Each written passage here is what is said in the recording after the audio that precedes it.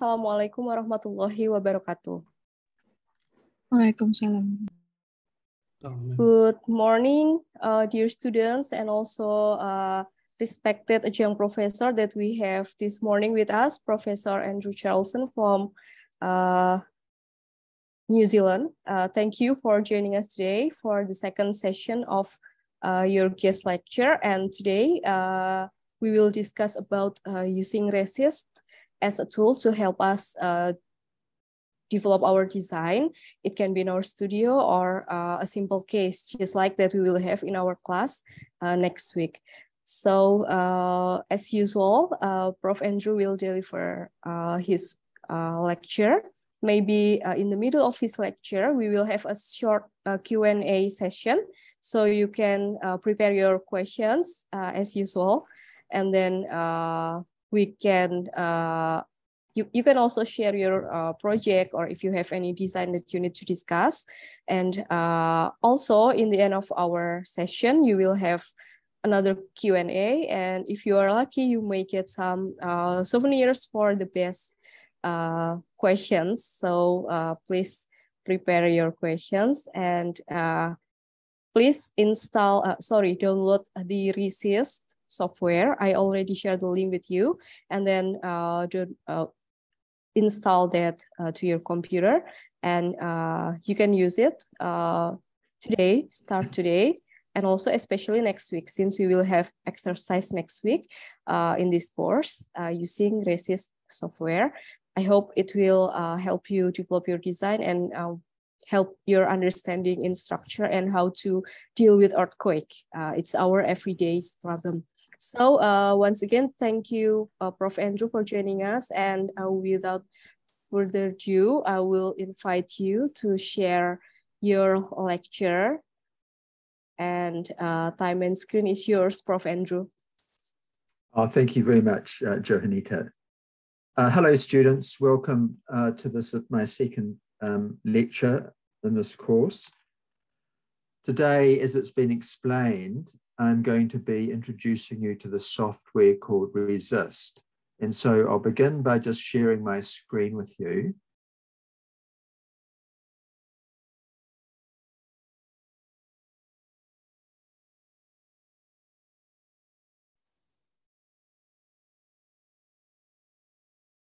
Here we are.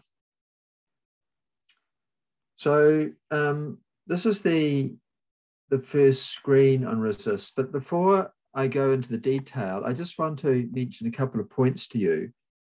First of all, um, for any architect, the biggest challenge, one of the biggest challenges, is to make sure that their building is strong enough for earthquake, uh, particularly in countries like Indonesia and New Zealand. And it's very hard to know when you are beginning a design how much structure you need and how large are the cross-section dimensions of your members.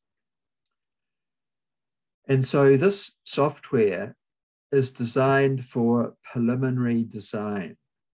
It's just design, it's just to be used at the conceptual stage of a design to enable you to approximately work out how much structure you need and where it might go in your building plan.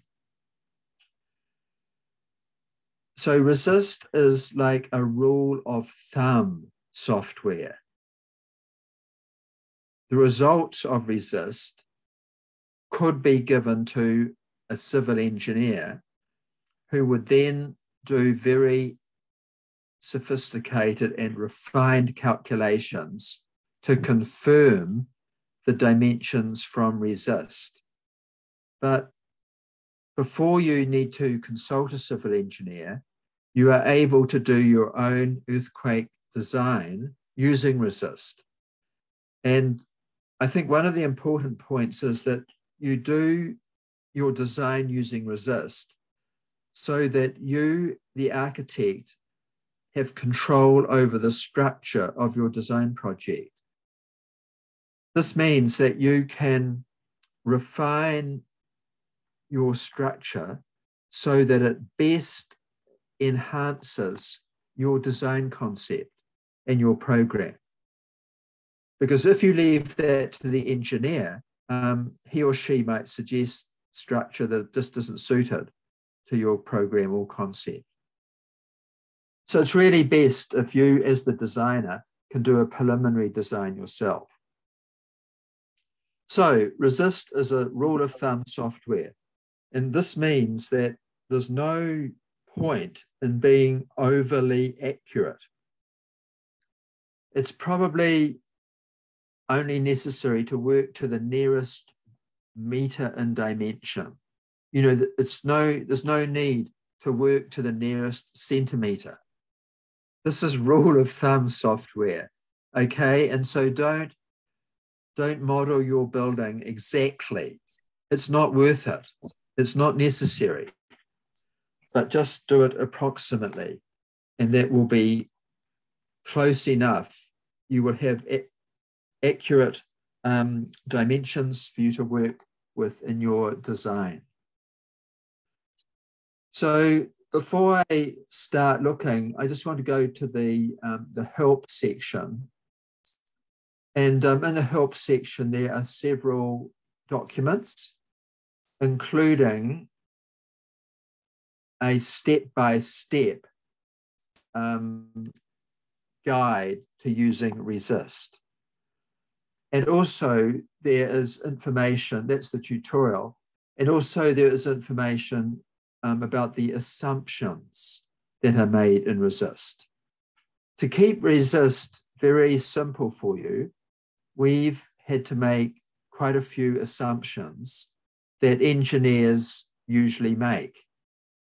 But you don't really need to know these assumptions, except that they are there written for you if you want to know more about the software and its limitations and its, um, its advantages, I suppose. So there's some background um, documentation for you uh, if you want to ask questions, you know, of the software. There's a lot of information there. So we are going to begin uh, a simple design of a building. And so I'm just going to demonstrate how we go about it.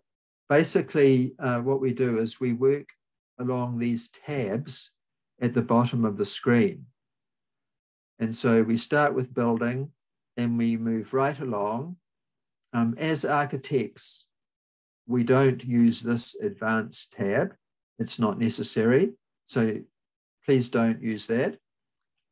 And then uh, at the same time, we use results, reports, the 3D model. And as architects, we never worry about displacements. That's not necessary. That's just for the civil engineers. So if we're designing a building, uh, we start off by choosing the importance of the building. And so if we're designing a normal building, say uh, an office building or a recreation center or something like that, it would be a normal structure. If it contains crowds or high value contents, like a museum, we would choose that. If we're designing a hospital or a police station or a fire station, then we would have to choose post disaster functions. Because those buildings, like hospitals, typically they are designed to be up to 80% stronger than a normal building you know, for obvious reasons. So let's design a normal structure. How many stories? Well, um, let's say it's going to be a four story building, just a, a low to medium rise. We can go up to eight stories if we want to, but we'll just have a four story building. Uh, the story height so resist assumes that every story height is the same. Um, and so we'll keep it at 3.5 meters. Uh, the roof height, let's say we've just got a, a concrete roof uh, and it's therefore the height of the roof will be quite low, say half a meter, a half a meter parapet, say. Then we um, till resist the material of construction. So what are the weights of our floors? And, and down here, we've got some photographs. Like that's a light floor timber, which would be rare in Indonesia. Uh, then we've got um, tray deck flooring with concrete on top, which would be which we'd use if we were designing a steel building. Then we've got um, heavy precast concrete or concrete flooring, which is what you would normally use in Indonesia. And so we will use heavy uh, for our flooring. Uh, then for the live load, um, we either choose domestic, office, or store or storage. So let's say we're designing an office building. Uh, maybe it could be a health center or something like that. Then we'd have office as the, the live load. Then we've got interior walls. Uh, if all your interior walls were from um, brick, then we would have medium. If your interior walls were lightweight steel and dry framing, like plasterboard, then that would be light. So let's choose light. And we're going to have a heavy roof because we're going to have a concrete roof. So now we've told resist all of our building weights, the weights of the materials. Now we go to the floor plan on our building. We click um, the floor plan tab. And the first thing is uh, we've got to set the dimensions of our building plan. So we normally we'd start set rectangular. And um, let's design a building that is roughly uh, 40 meters long. It's quite a large building by 20 meters wide. Uh, say, say, say 15 meters wide. And I just zoom to fit. And um, and so we get this image of our building. And straight away, you can see that the initial structure is, I'm just going to put it on the perimeters. So just with a left click, you can drag your structure anywhere in plan. Like that. So now I've put all that structure on the outside. This is the default structure that we will now change. But I just want to explain to you that um, resist can do any polygon. And so if we put our cursor on the exterior wall and right click, we can add a point. Right click, add a point. right click, add a point. Right click, add a point. And, and now we can manipulate the building plan and create pretty much any polygon shape you want. So if we wanted to, if you had a circular building, you could um, make it into a polygon of, of roughly the same area, and that would be close enough. So we can we can create a building of any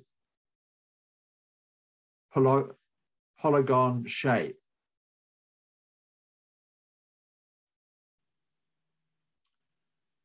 So let's say we're happy with this, this shape of building. This is the this is the, the shape that we want for our site and our program and our concept. Uh, and so we, fin we finalized the, the, the, the, dimensions and the shape of the building plan, and it's, it's four stories high, uh, and the, uh, the average story height is 3.5 meters. Now we go to the earthquake tab, and we have to put in the hazard factor, which is a factor that represents the seismicity of your building site. And so for Yogyakarta, I, I think you'd, you'd choose something like about 0.3. That something like that would be about right for, for you in, in central Java on the on the coast. Um, there's a map, but this map is just for New, New Zealand. So it's not relevant to you. Uh, but in my own city of Wellington, uh, the, the hazard factor for Wellington is 0.4.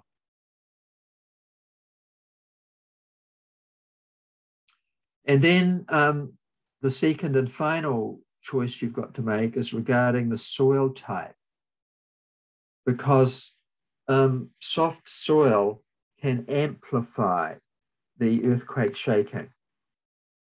And so we've, re- we've got to identify sites with soft soil because um, our buildings actually have to be stronger if they're built on soft soil compared to building on sites under uh, overlain or underlain by, by rock. So let's say uh, we're building on a soft soil. And there we've got those we filled in that tab there. Then we go to wind. And um, wind isn't really an issue in Indonesia unless you are building a, a timber building. And so you don't need to bother filling in this information. You can just leave it as it is, actually. Um, because wind will never, will never be critical if you're designing a concrete a concrete building. So now resist, um, it knows the materials that you are using for your design. Now resist knows your floor plan and how many stories. It knows the seismicity of your building because you've put in a hazard factor of about 0.3. And now you're ready to design your structure. So then we go to, we'll just see which direction is this. So X direction. So now we, we're going to design the lateral load resisting structure in the X direction.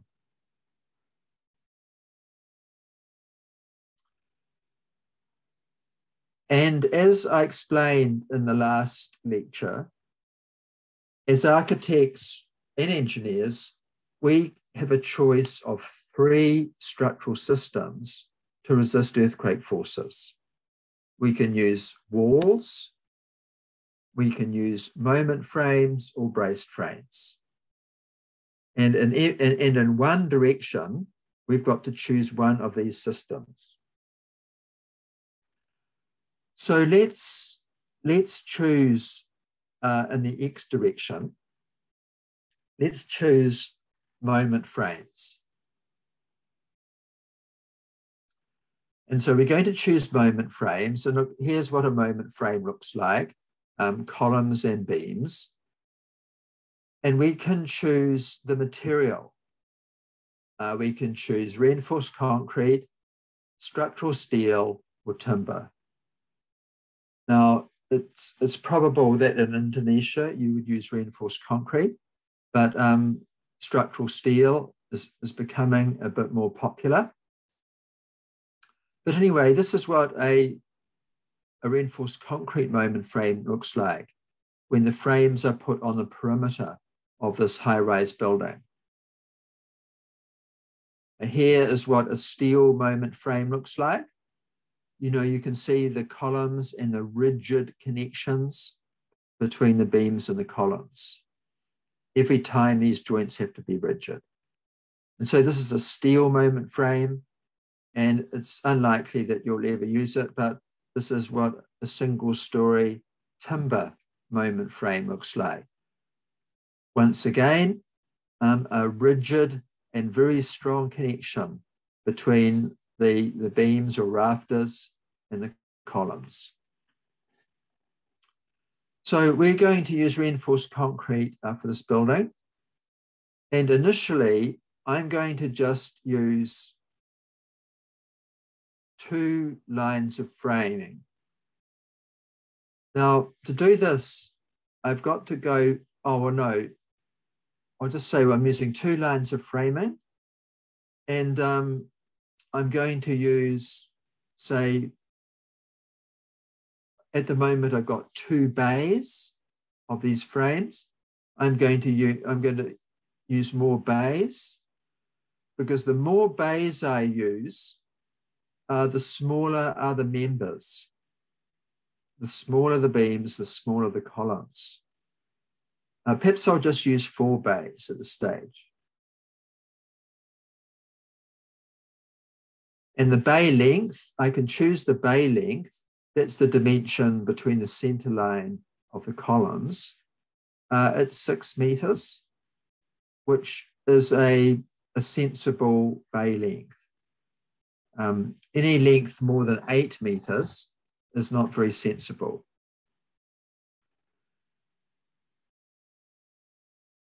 And then um, I've got to choose the floor width supported by the beams. So if I look here, now this is 15 meters. So I would I'd probably have a central line of columns along here uh, with a beam on over the columns supporting the floor slabs. Uh, actually, I'd probably have two two lines of columns, one line along here and one line along here. And that would mean the floor slabs would be spanning five meters. So if the floor slabs are spanning five meters, it means half of that length will be resisted by these beams of these moment frames. So half of five is 2.5. So the floor width supported by the beams of my frames is 2.5 meters.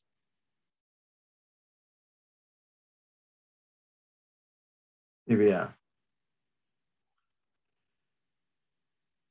And the final tab or field we've got to fill in is we've, we've got to guess the depth of the columns. That's the depth of the columns parallel to the beams. Now, if I look at this structure I've designed, um, the columns look very, very weak to me. At the moment, they are 0.3 meters, 30 centimeters. Um, that just seems a bit too small for me. So I'm going to increase them to say about 0.6. And I'm going back to the floor plan and I'm going to integrate my frames a bit better with the geometry of the, of the building. So now my frames are there.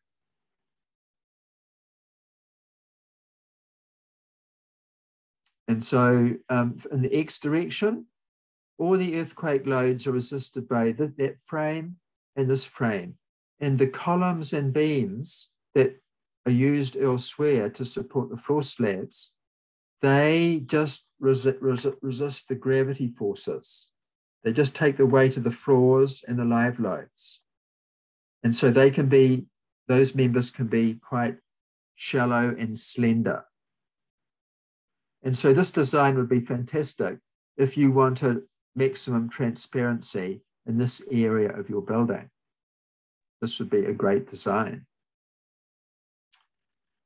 Okay, now we move to the structure in the Y direction.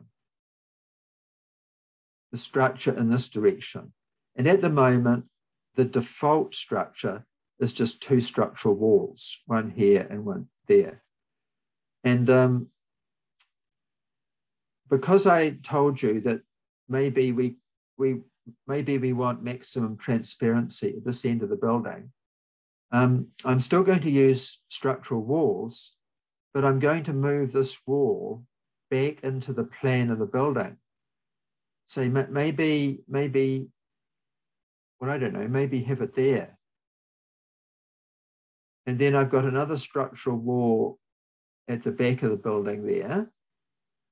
So I'm going to assume that the entire earthquake force on this building is resisted by two structural walls. So I go to structural Y, uh, use structural walls. Yep, that's correct. What material?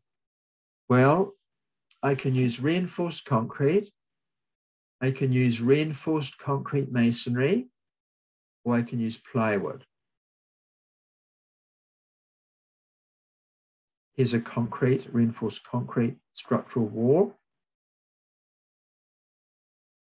Here's a reinforced concrete masonry where there is reinforcement vertically and horizontally in the concrete blocks that are grouted with cement and mortar. And here's a very simple plywood shear wall or structural wall. Timber framing with plywood.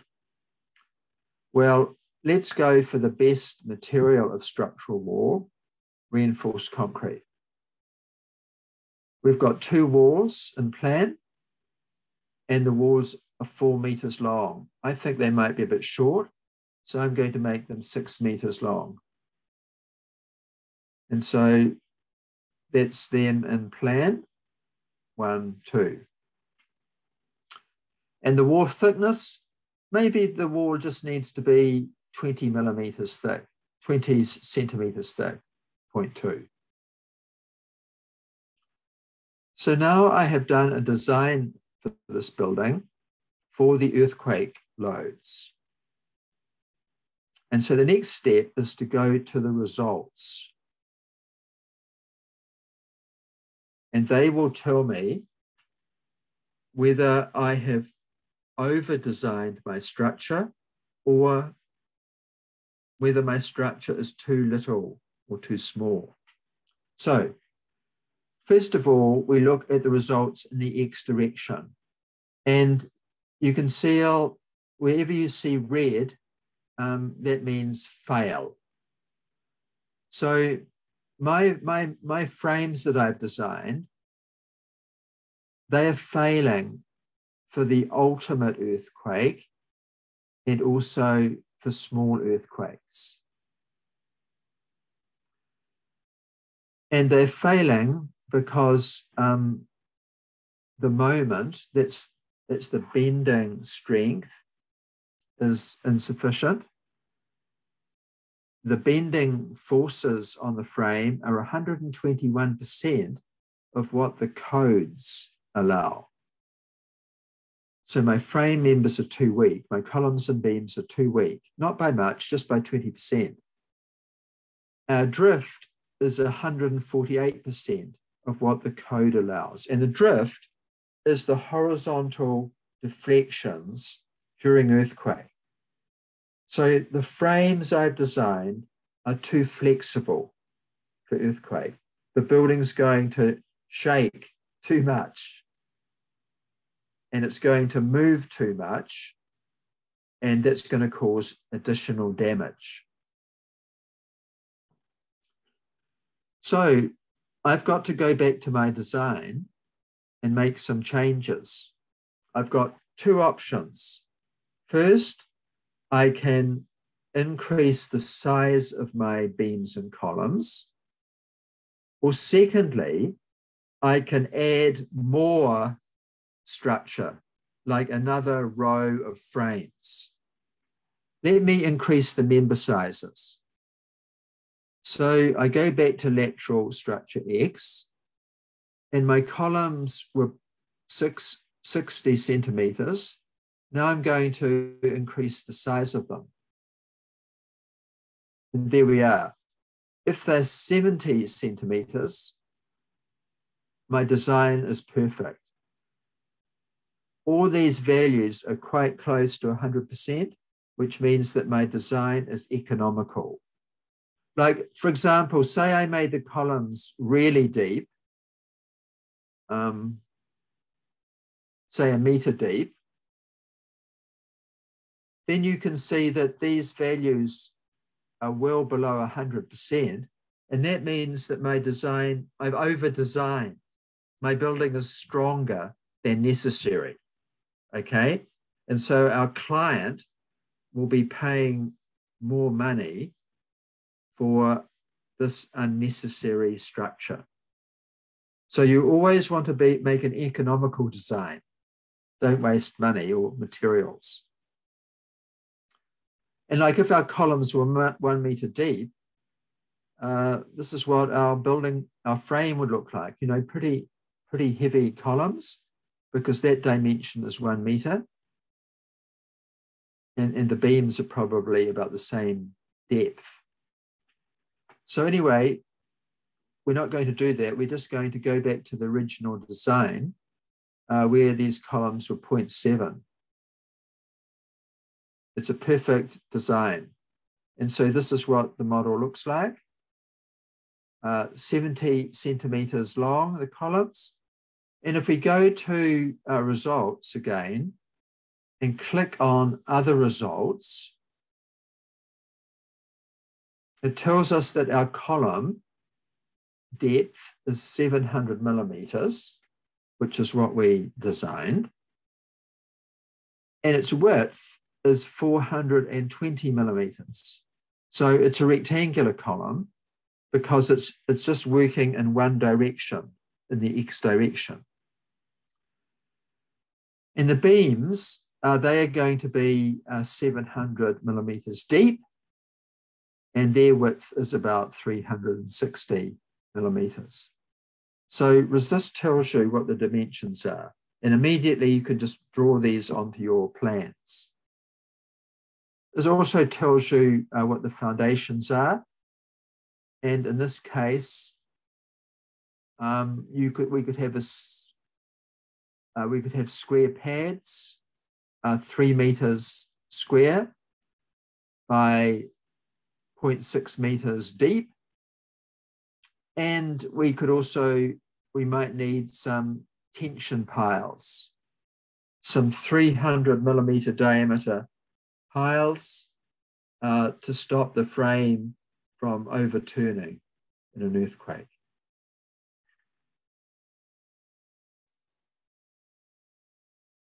So there we finished that um, design in the X direction. Now in the Y direction, we use two walls and you can see that my original guess was quite good. We've just got a slight fail once again, those walls are a bit too flexible. And so let me go back and just make those walls a little bit longer. Uh, and maybe make them six and a half meters long. And that fails. So I'm going to make them a little bit thicker.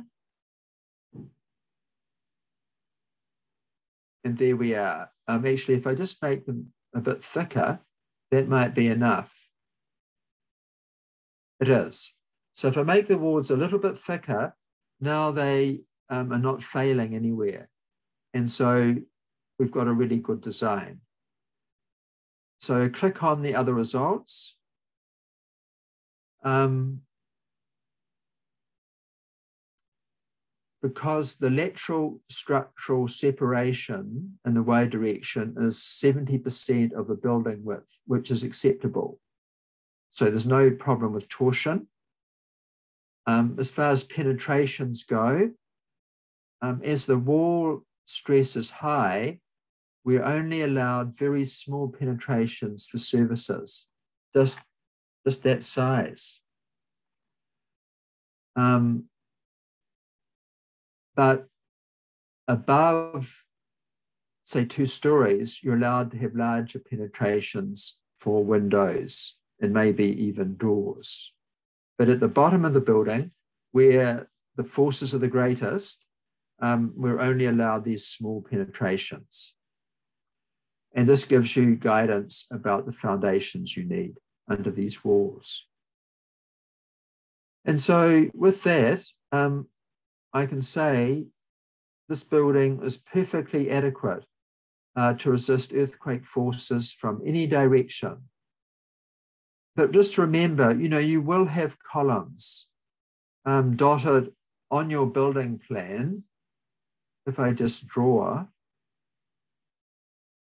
uh, here we are, draw.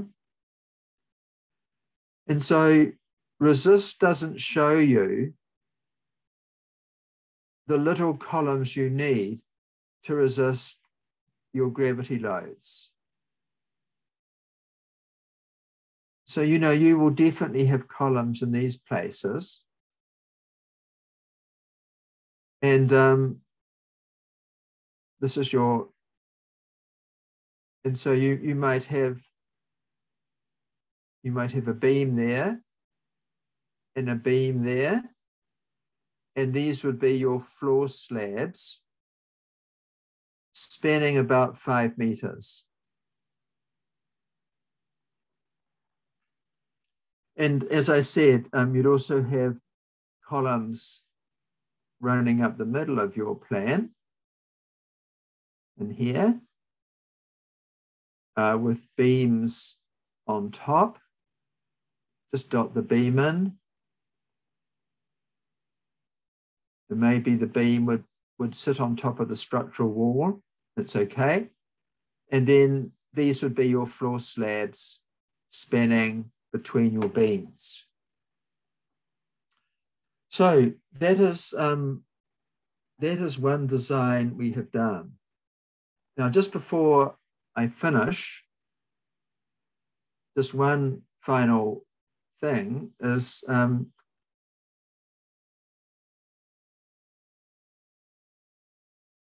I'll just switch off my, um, here we are. Um, the final thing to tell you is about reports. But before you print out your report, this is still drawing.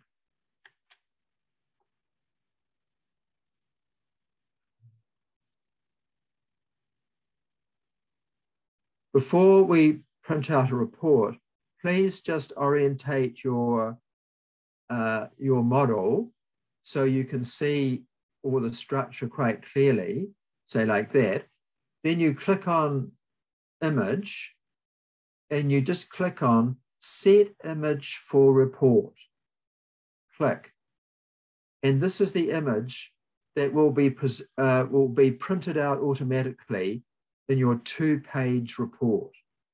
So you go to reports, uh, you always click on architectural because you guys aren't engineers. So just click on architectural, fill in the project and your name, and then Resist will print out a two-page report for you, which just gives a summary of your input and your results.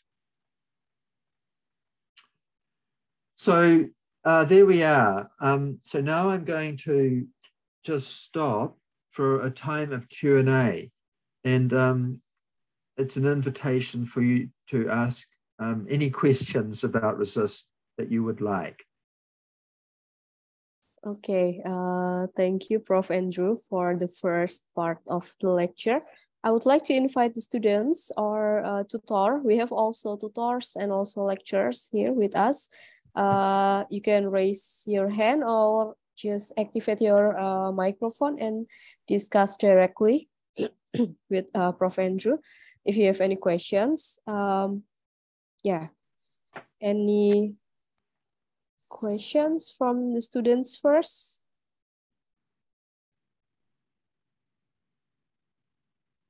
Okay. Uh, yeah, Omar raise hand. Please, Omar, uh, activate your camera and you can discuss directly with Prof. Andrew. Yes, okay. Yeah, actually, I have a question. Uh, it's related to the phenomenon of uh, the earthquake. Okay. Like uh, right now, uh, we are living in Indonesia, and uh, I think this uh, area prone to earthquakes. So, can we use a special material or methods for uh, construction that are uh, not affected uh, by dangerous earthquakes? For example, like focusing on building the foundation of our building in a way that uh, can uh, withstand earthquake or uh, focusing on design our column is using a material like rubber, like not to affect it badly in our building or mm. right now we can't.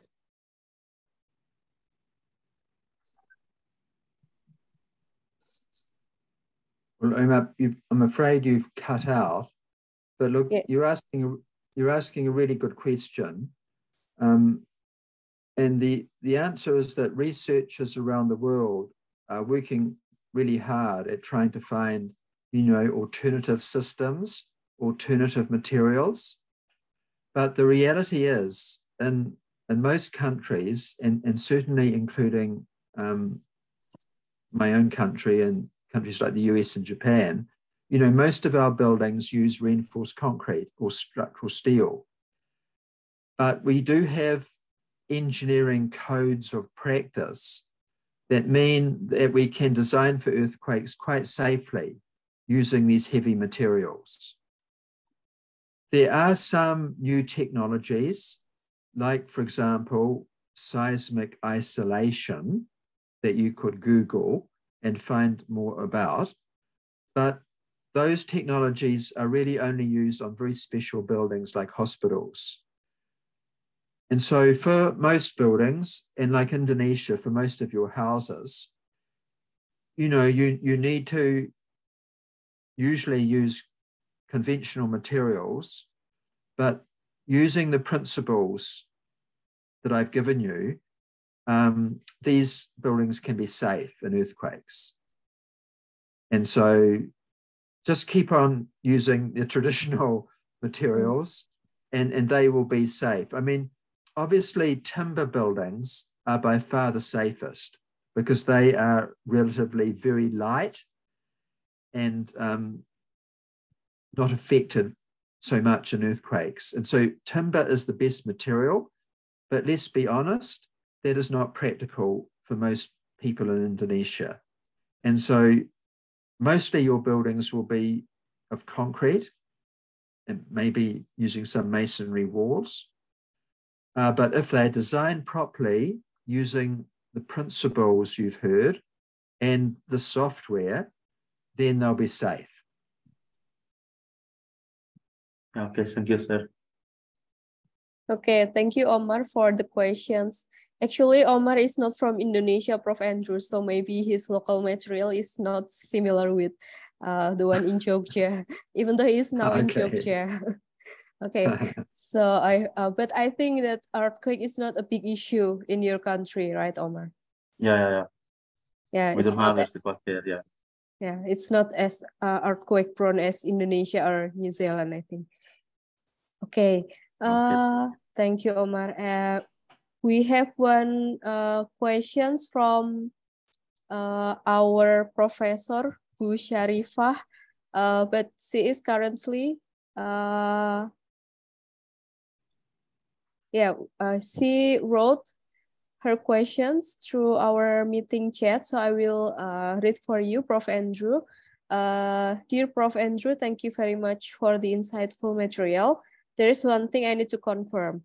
Can we take the output of RESIST as for the result of the analysis to other uh, CAD product, computer aided design product, or maybe BIM software? Or how is the interoperations among these software, among other software? Thank you in advance for your answer and discussions.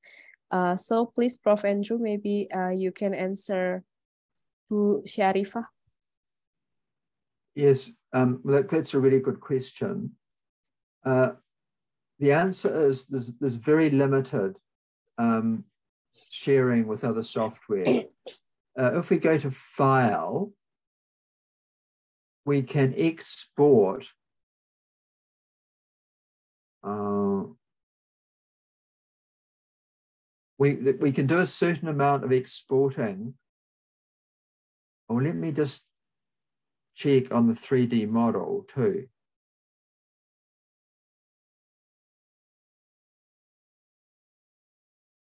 Yeah, look, the best we can do actually is to save um, our 3D model as um, a PNG file, and then we could import that into some other software. But the, the software doesn't really fit in very well with other softwares like BIM.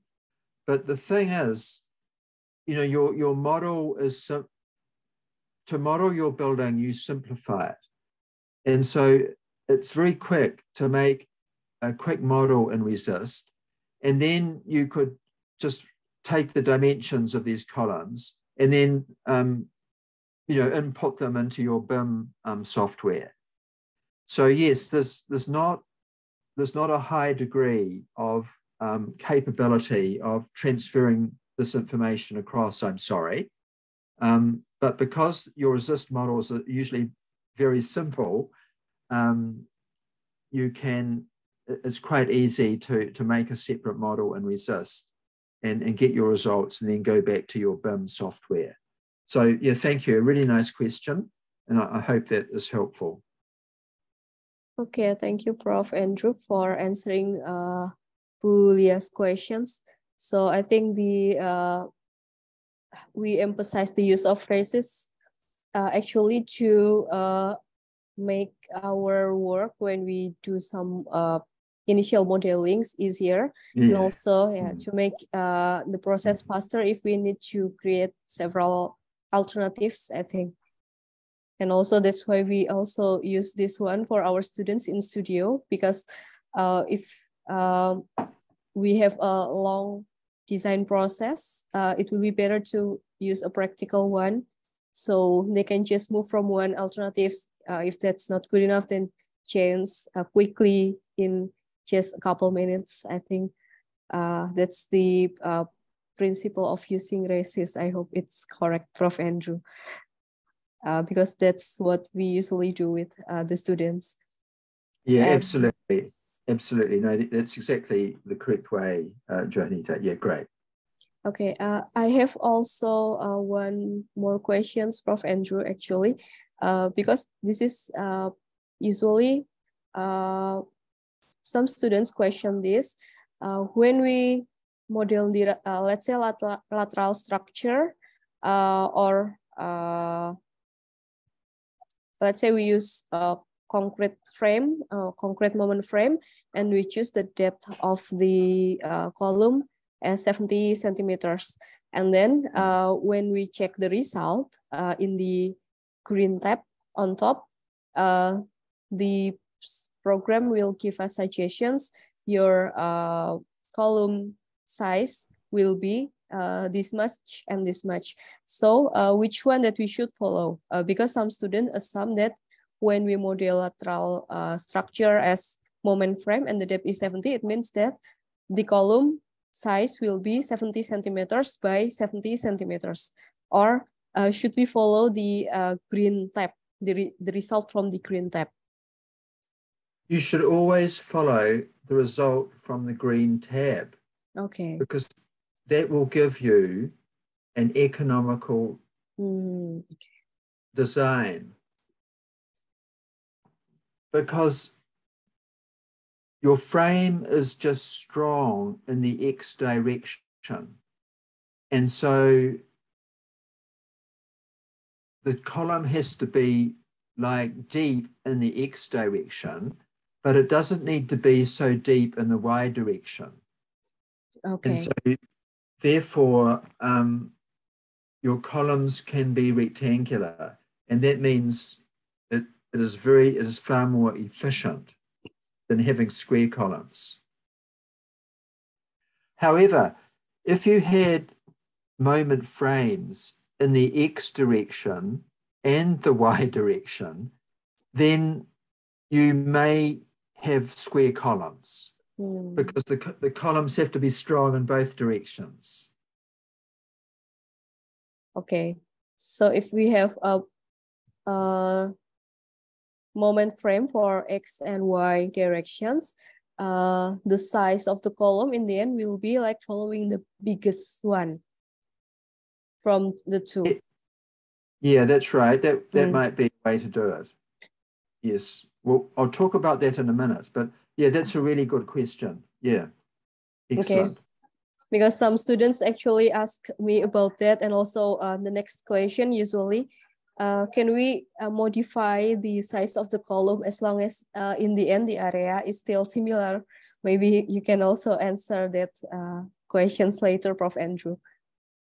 Oh, look, I'll answer that now. Yes, look, you okay. can you can modify the shape of your columns. Like, as I said, resist is like a rule of thumb software, and it, it's giving you approximate dimensions.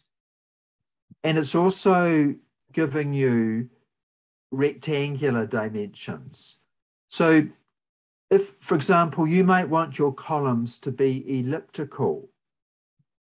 And so make them elliptical, but make them with the same depth, you know, as a rectangular column, you know, and you'll be close enough.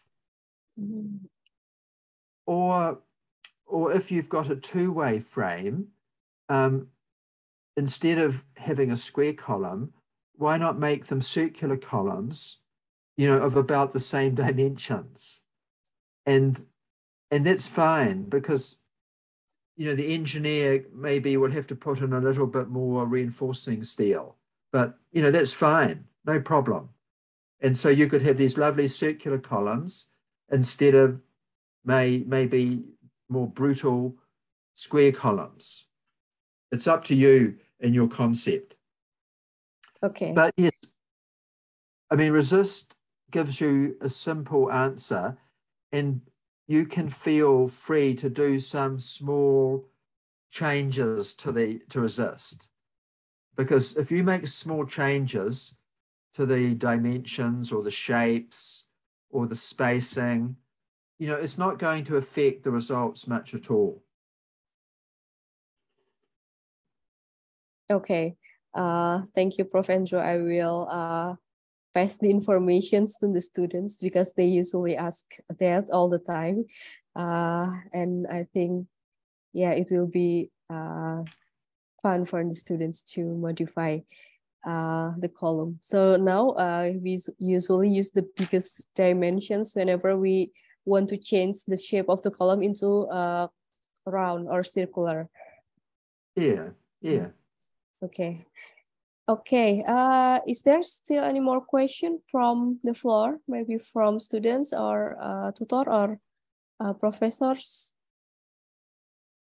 Okay, I think we don't have, oh, Bikri raised hand. Okay, please, Bikri. Um, yeah, uh, I'm sorry if the question is a bit unrelated to the subject, but are there any future plans to um, you know, make Resist available for Mac or Apple users.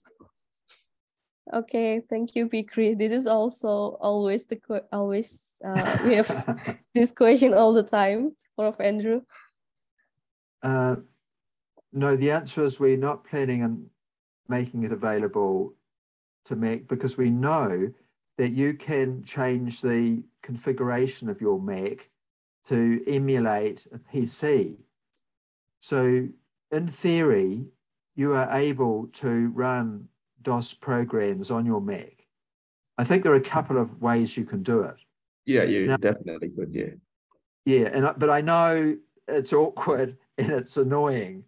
Um, but at the moment, we haven't got any funding to to to to make it available on a, on an Apple. So I'm sorry, I mean, one, one suggestion I've got is you could always perhaps go to an internet cafe and just for a small fee, um, use the PCs there and, you know, do your design work using Resist just there, just for this, for a few, um, you know, a few dollars, as it were. All right. Uh, thank you very much, Professor. Okay, thank you, Bikri. Or you can just come to our uh, computer yeah, yeah, laboratory. Yeah, it's open 24 hours. So uh, and all and all the computers are Windows, so you can use it all the time. Yeah. Thank you, ma'am. Okay. Yeah, that, that, that's that's what our students in Wellington do if they've got apples. You know, they come and use the, the computer labs uh, on campus. okay, uh, I think we can continue uh, to the second uh, session, second part of your lecture, Prof. Andrew, uh, before we uh, open another Q&A sessions. Okay. Righto, well, now I'm going to just show you how useful Resist is to explore different designs. And so let's, let's stick with this building here. And let's say that we don't want these shear walls here. Let's say we want a strong sense of circulation along our building. And instead of these shear walls, we want to have moment frames that we can walk through and the frames will like express the circulation. So what we do is we go back to the floor plan uh, and we first of all, we're going to put in a lot of frames running this way. And so I'm going to add an element in the Y direction.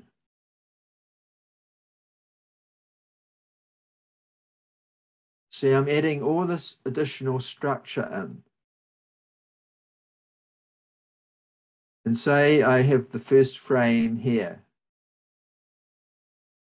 Now, I, if I want to, I can just make these frames align perfectly, um, but I'm not going to bother. I mean, that's sort of close enough. And then I'm going to go to the lateral Y structure and make these frame, these walls into frames. And I'm going to make them just one bay. And see, see how we've got this potential circulation route through these frames. And so now our structure looks like that. Now these frames look a bit small to me, so I'm going to make them a bit bigger, say, say 600. And so now the earthquake forces on this building are resisted by um, eight frames. They're six, the bay length is six meters. Let's say we want the bay length to be uh, four meters. There. And so now all our earthquake forces are going to be resisted by these single bay frames that are strong in the Y direction.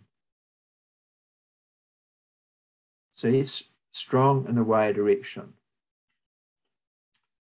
Let's look at the results. Well, actually, these frames are they just they're just failing, aren't they? So I just need, need to make them a wee bit larger. Oh, sorry, um, in the Y direction. Oh no, the frames are failing quite badly. So I've got to make them quite a lot deeper.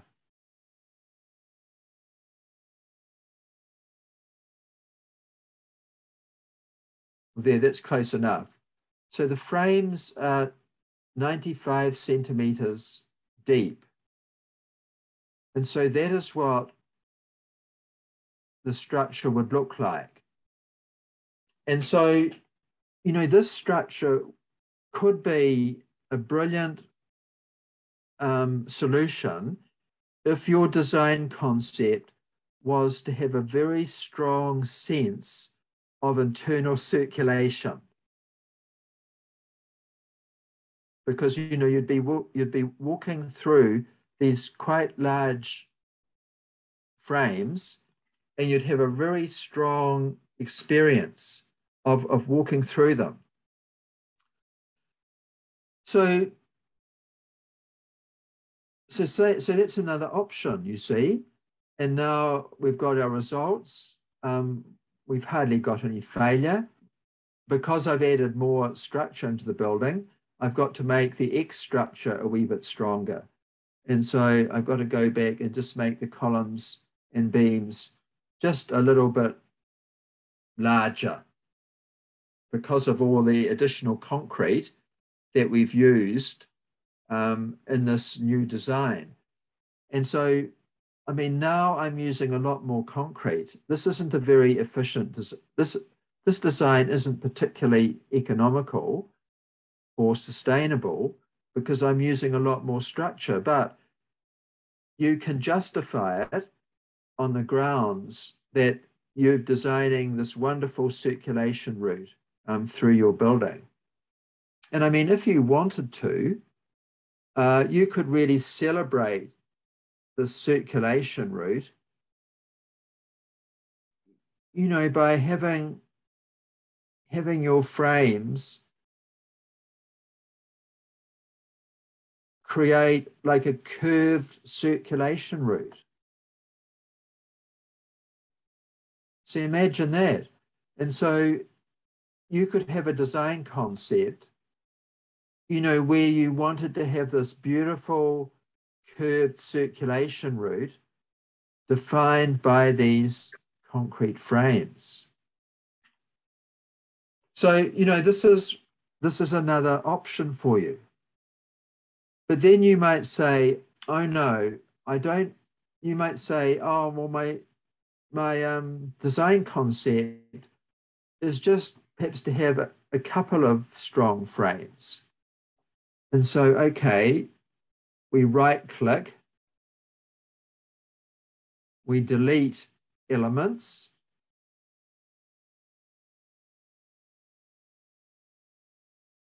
delete that element. And so now we might have four frames. And what are the results? The results will be failure because we've got less structure. And so what I'm going to do is to make these frames two bays.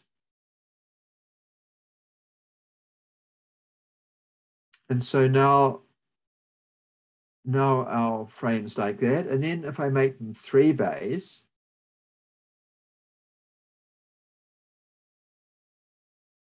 uh, make the bay length, uh, say five meters, then I can end up with potentially square columns where these columns will join up. And so let me see what the results are now.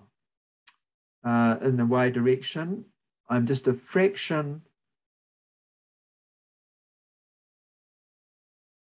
I'm failing by just a 15% because my, my frames are too weak in shear.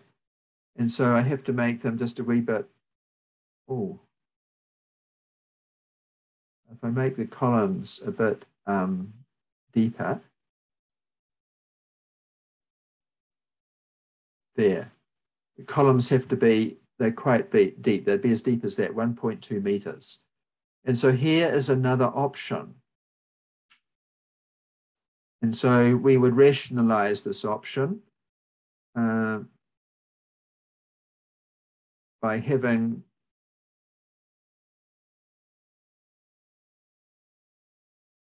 having these columns integrated. So that would be like one square column there. Uh, this would be a square column, a square column there, and so on. And so we would make would make those two columns like this one column, most likely. Um, resist, unfortunately, can only have structure in the X and Y direction. And so where we have a slight angle, then we just have to put the structure um, as close as possible to that angle. angle. So that's a limitation of the software. So just, you know, bear that in mind. If we wanted to, we could bring one of these frames uh, to the front of the building. And this frame we could we could bring in there. And so we can adjust our structure, you know, to suit our planning uh, and and our design concept. And that's always what we try and do. Let's say that um, we want to have bracing, cross bracing on the in the in the x direction. And so if I go back to the x direction, I can choose bracing. And I can choose um, diagonal bracing of any any sort really, and even like in the Pompidou Center, tension only bracing. But say um, I have concentric bracing, um, I can just use say two bays, look at the results. Oh, my braces are failing. So I've got to make my braces a lot larger. And there we are. I've, I've done the design. So if we want a braced frame, um, in the y in the x direction, that's what we need. We need we could get away with just two bays with with diagonal bracing like that. Um, if we wanted to, we could change the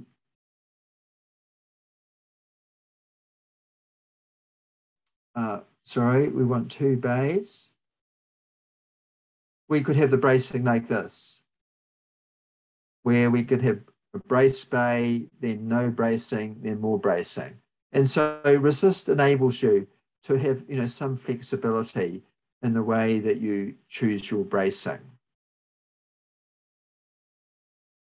But I know that in, um, in Indonesia, you know, mostly you'll be using reinforced concrete and you will be using, um, often you'll be using frames, but I would encourage you to use shear walls where you can because shear walls are more reliable and, and are safer than using frames.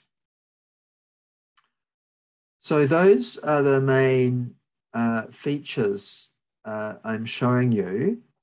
And so I've shown you, just finally, let's see what shear walls we need in the X direction. So we go to the um, X direction, yes. We choose structural walls. Um, we're going to use reinforced concrete.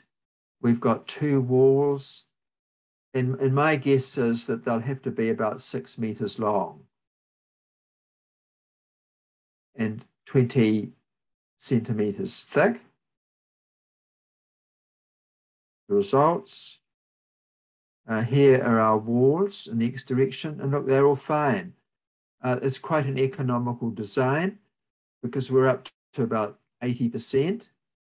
If I want to, I can make them a wee bit shorter.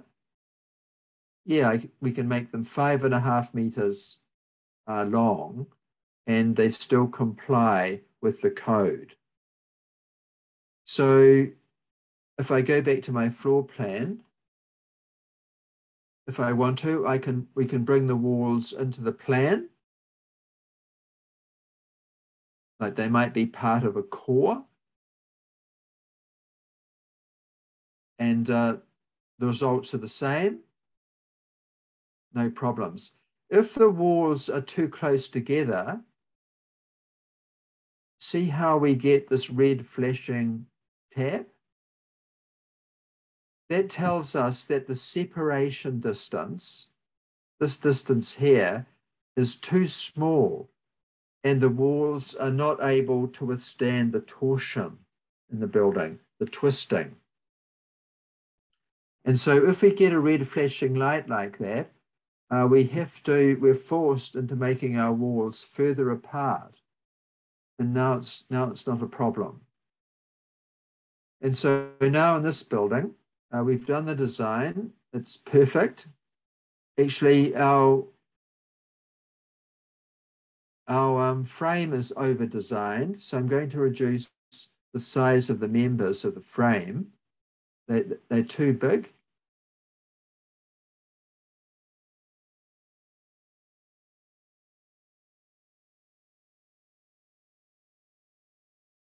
So I'm reducing the size of my columns and beams. There we are.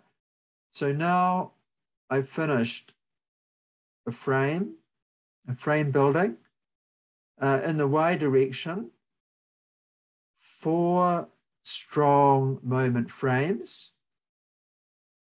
In the X direction, two 5.5 meter long, sorry, um, in the Y direction, sorry, in the X direction, two 5.5.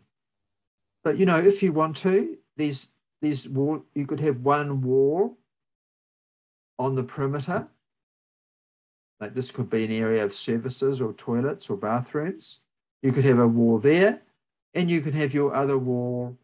Um, well, it could be near the center of the building. And so your building isn't as symmetrical, and we might find our results are not quite as good, but they're still okay. So look, there's another design. And if you want to, this wall could be at the end of the building. And so, you know, you can you can place your structure to suit your planning and your design concept. This wall could be on an angle there. So resist helps you understand not only how much structure you need, but where you know you can place it and plan. See, that's no good. You can't have the structure without separation. And so if I start to separate this, then it's okay. The torsion is not a problem. So resist gives you the opportunity to experiment. You know, very quickly you can try out different structural systems. Um, in different plan areas and, and get a very accurate, approximate dimension of your structures. Well, look, I think I'll stop now and shall we see if there's any more uh, questions or discussion? I'm sure students will have more questions for me. And so I look forward to that. Okay. Uh, thank you, Prof. Andrew, uh, for the second part of the lecture. I would like to invite students uh, or tutor or also lecturer to uh, raise hand or open mic and uh, discuss directly with Prof. Andrew you can ask about uh, the uh, resist or if you uh, try your project with resist already, maybe you can um, discuss or even uh, show if you want to. But I think this is the first time for you since you are only at the second year now. Uh, but for the tutor, actually, they are very familiar with this. Uh, they use this every year and also um, they help the students use uh, resist every year. So i think uh, for the tutor they are already very familiar with this. Okay. Um yeah i'm still waiting for any students or tutor to raise hand and discuss okay uh or maybe uh, you can also share uh, if you want to ask sorry if you want to discuss your uh, let's say studio case and you want to try it with resist since now you have um, i think your case now it's it's possible to uh, do the simulations mm. for your case uh, with resist because now your design is two stories. I think it's a good start. I think it's a good way to start uh, simulating your design with resist. But uh, yeah, while we are waiting for the students, uh, I think I have a question for you, Prof. Andrew. Uh, the uh, questions usually, uh, actually, this is also from students since we ask students from seventh semester to use resist. Usually the design is a bit uh, complicated. Um,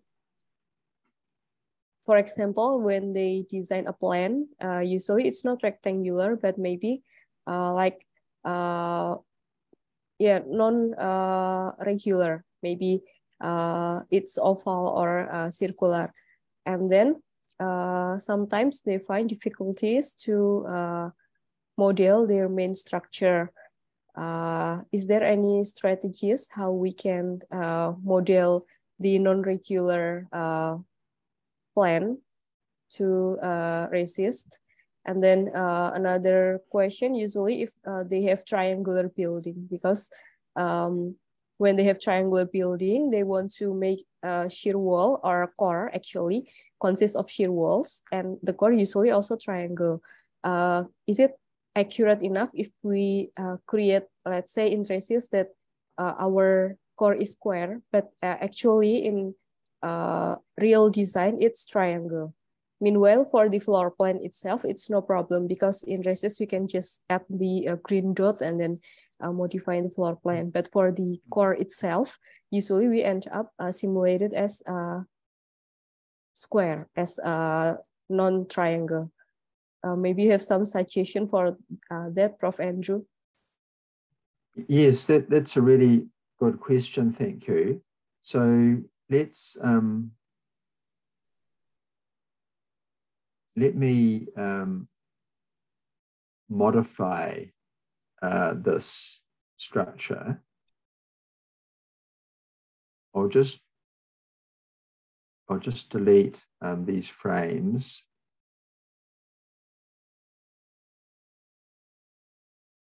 Um, right click and delete oh, I've got to, I've got to have a minimum of two frames in each direction. Uh, yeah, well, let's let's make this um, more of a rectangular, uh, sort of triangular shape.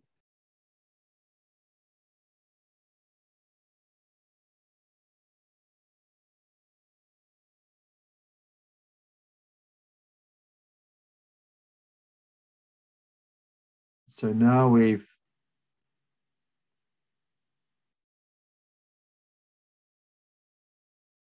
this is this is not the way you do it, but I'm just doing it very roughly to get a, a rectangular shape and resist.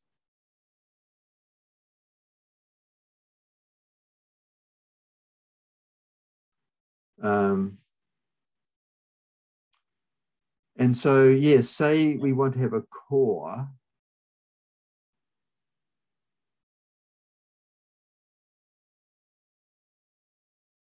And uh, these, these members um, would have to be in the y direction. And so, so we're having a, a structural wall as a core. Uh, we've got two walls. And they're going to be quite short. So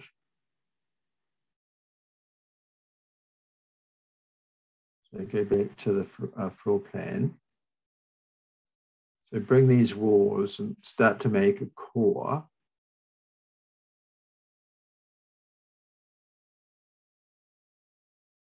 Now, if we if we want to have a um, a triangular core, that that is feasible. But what we'd have to do is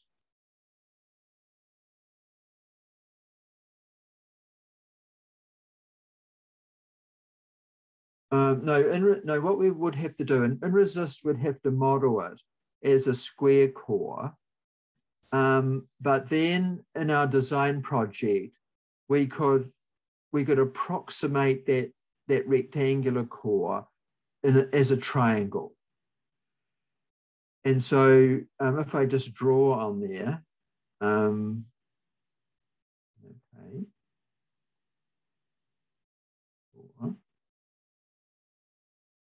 So if resist tells me this is what I need for a structure, then, then I mean, I, I think it would be reasonable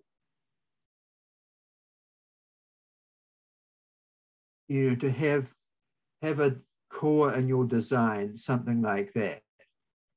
But just be aware that when you have a core, you know, you always, well, usually you need some quite large openings for circulation. And so that means that if you're going to use a core, these walls have to be longer than usual in order to accommodate the, the penetrations for, you know, uh, circulation, uh, for getting to elevators, getting to toilets, getting to stairs. And so you have to be careful about those walls, uh, sorry, those penetrations. But yes, this is an ex- a good example of how you just um, use resist and then you make changes to accommodate your design. So I hope that's helpful. Okay, so basically it's okay to uh, model our core with uh, shear wall, even though we have to be very careful in real design because we need to make openings, uh, but yeah. it's still acceptable for the students. I think so. Okay. Yeah. yeah. because uh, yeah, that's usually the issue. And also, um, uh, yeah, we know that shear wall should be uh, so minimum in terms of opening, but uh, then we use shear wall for a core and then sometimes for uh, emergency stairs and we still need to make some doors or opening for elevators. And uh, also, uh, actually, well, just just before you move on, can I just say the other option is okay. is, is for this area to be a non-structural core. Mm, okay.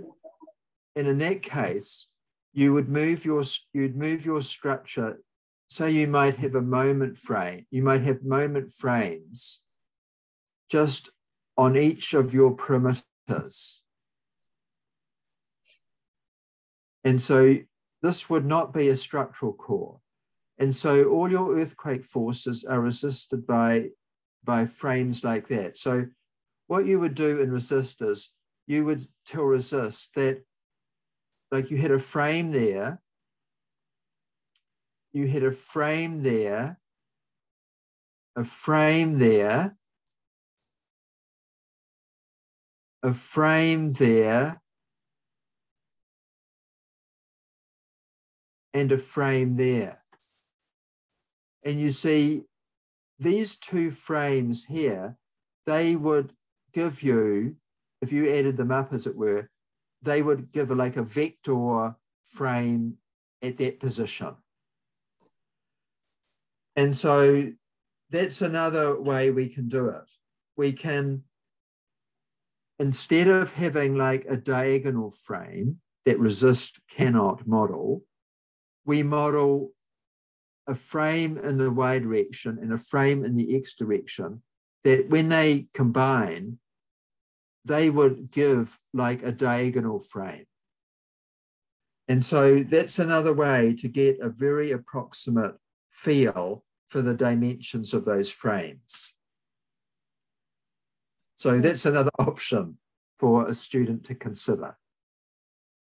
Okay, so uh, basically uh, create uh, earthquake resisting structure all at the outside and then yes yeah the core will be just for gravity exactly perfect yeah.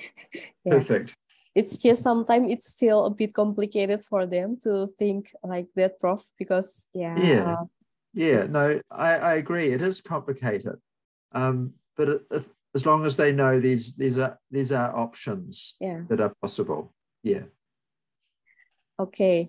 So uh, I would like to invite students now, since uh, you still have, I think, yeah, maybe not much, but maybe less than 10 minutes to discuss. Maybe one question will be enough from the students, especially because if I uh, will need to raise another question, then actually I have a lot. Uh, after they apply this in the seventh semester, uh, yeah, some issues uh, usually related to building shape uh, will appear and then uh, they will ask uh, a lot of questions about that. But uh, I think uh, let's check from uh, the third semester students' point of view also. So please, uh, even though this is the first time you um, see this kind of simulation, it's fine. You can ask uh, anything, no worries uh, no problem. Maybe uh, they saw that uh, usually the senior students use this one. Uh, but uh, as you see, this is very easy actually and practical. So you can start using it from uh, now, even for your third studio uh, project. It's still very possible. Okay, I would like to invite students for one last chance for uh, questions. Are you sure you don't have anything to ask again?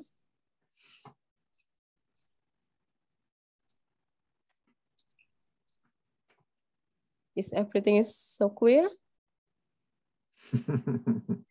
I hope okay. so. so Omar raised hand again. Okay, please, Omar.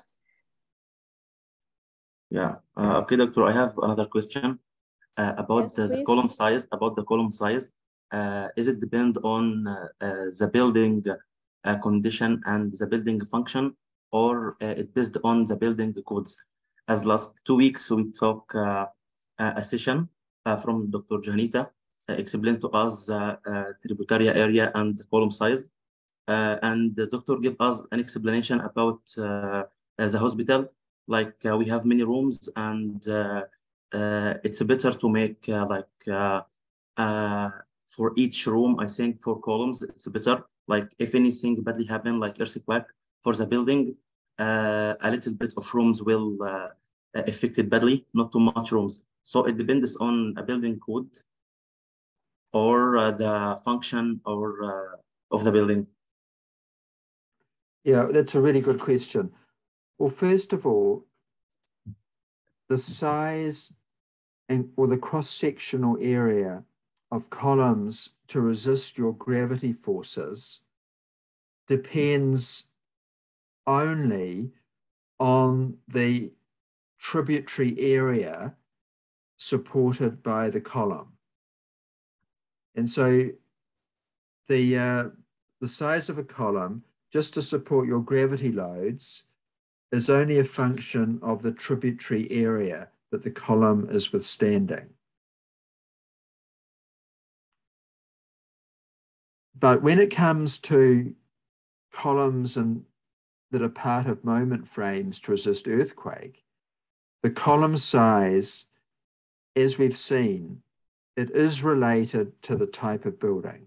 And for a hospital, the columns will be significantly larger than um, the columns for an office building of the same size. And so the size of the columns to resist earthquake they not only depend on the type of building, but they depend on how many columns we use. And as I've explained, you know, you could design a building with lots and lots of frames, in which case the columns will be quite small. Or you can design a building where you are resisting the earthquake forces on just a few frames, maybe two, in which case the columns will be quite large. And so it's your choice as the architect. You know, you go back to your program and your design concept and you say, well, how many frames do I want? What's my preference as, as the architect? And then you, you, you, you do your model and you see if those columns are okay for you.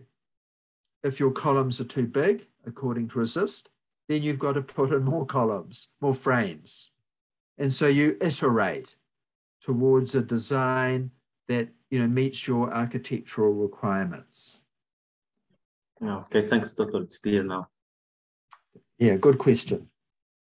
Okay, thanks, Omar, for the questions. So uh, two weeks ago, when we uh, discussed sizing the column based on tributary area, uh, actually we use a book and uh, that book uh, just mention like how big the tributary area is without mentioning yeah. uh, the function of the building. But uh, when we use Resist, uh, in the beginning, you can choose the function of the building. Is it mm. a normal uh, function? Is it a heavy uh, duty function? Is it, uh, I've forgotten the third category, but I think it's like emergency function of building and it will affect the size of the structural components, isn't it, Prof. Andrew?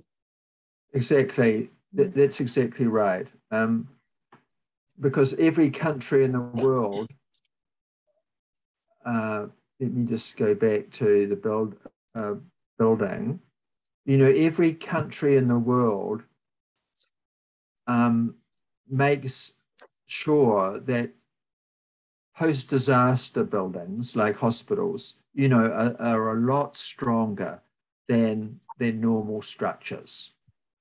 I mean, these structures here, low degree of hazard, they would be like um, structures like that you might build, for example, to store grain in or store um, perhaps animals in.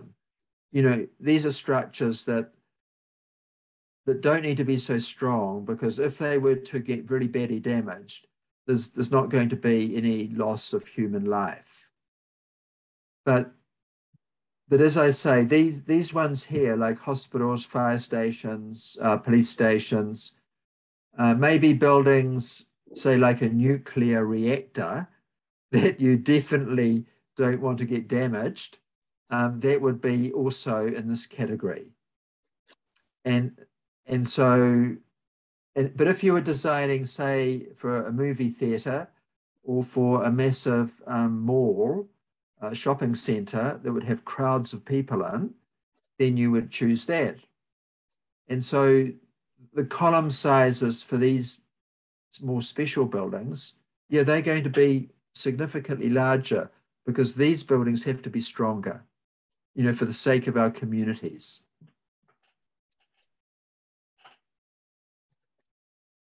Okay, so I hope it's clear for Omar and also for everyone. So uh, our previous analysis using tributary area, it's actually just to help you uh, understand the logic of how we transfer load from some parts of our building, from uh, some a certain area to mm. some uh, certain uh, structural component. Let's say column A will uh, support tributary area number one, but uh, to be more specific, we need to uh, do the simulations because just by counting the tributary area, first it's just for gravity uh, and also uh, we still uh, haven't checked the function yet. It's still gen very general.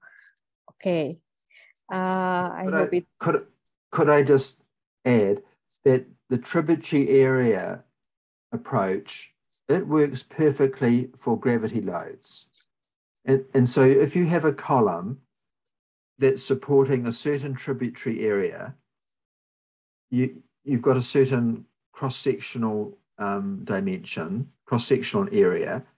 If that same column is supporting half that tributary area, then in theory, its cross-sectional area can be reduced to one half. Mm. So that, that concept of tributary area, that, that is perfectly valid for talking about gravity loads. Yeah, and, and so it's, it's an important concept that is still very important for gravity um, load resistance. Okay, thank you, Prof. Andrew, for adding uh, the informations. Okay, I think, uh, yeah, it's 10:20 here in Indonesia. So our time is up. Uh, unfortunately, we don't have any more time for uh, your questions, but don't worry. We have uh, our record with uh, Mbak Zahra and we will upload this to our uh, channel so you can uh, check some uh, recordings for today's and uh, last week materials from Prof. Andrew if you need to uh, recheck some uh, points about Resist or about uh, earthquake related structure in general. And also I would like to present the certificate of appreciations from our uh, Dean of Faculty of Engineering and Planning, uh, Prof. Ilya Fajar Maharika, uh, for young Professor Andrew Charleson. Uh, thank you very much uh, for joining us as guest professor and uh, provide, us, provide us with uh, new informations, especially for our students, tutor, and also lecturer. Thank you uh, once again, Prof. Andrew Charleson, for uh, being here with us today. You're most welcome and best wishes, everybody. Thank you. And I would like to close our session. Uh, let's uh, recite Hamdallah, Alhamdulillah Rabbil Alamin. And uh, thank you all for joining us. And I will see you all uh, next week, inshallah. Assalamualaikum warahmatullahi wabarakatuh. Um, thank you. Thank Goodbye. you, sir. Thank you, Prof. Andrew. Bye. Bye, Johanita.